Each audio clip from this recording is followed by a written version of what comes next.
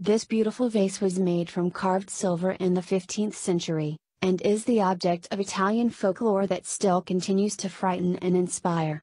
Its history is a bit foggy at its best, but legend tells us the vase was made for an Italian bride as a wedding gift in a northern village close to Napoli. On her wedding night, the new bride was found lying on the floor dying and clutching her vase. Just before she died, she promised to return and seek her vengeance. After her passing, the vase was handed down from family member to family member, all dying of mysterious circumstances until, eventually, the vase was boxed and hidden away from sight in a secret location. The history as to who hid the vase is sketchy, but some people say it was buried on sacred ground by a priest, others say it just simply disappeared only to be rediscovered in 1988.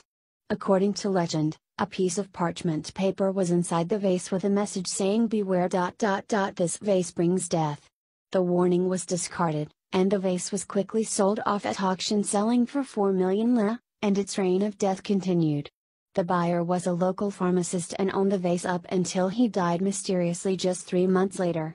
His family quickly sold it to a prominent surgeon who did not believe in such things as curses, and died two months later, aged 37. After a short amount of time, the vase was sold yet again to an archaeologist who purchased it for his own private collection and saw the vase as a true artifact of the High Renaissance.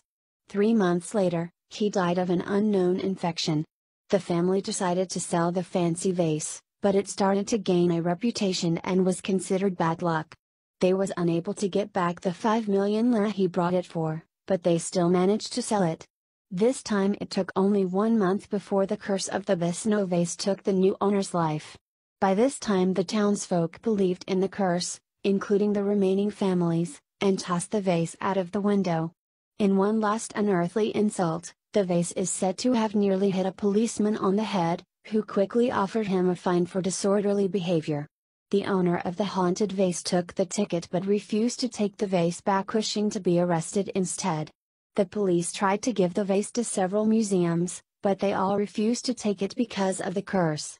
To date, several newspapers have reported that the local police had once again buried the vase in an undisclosed location, though some sources have claimed that it was put in a lead coffin and buried on the grounds of an ancient cemetery where no one will dig it up. Let's hope that's where it stays.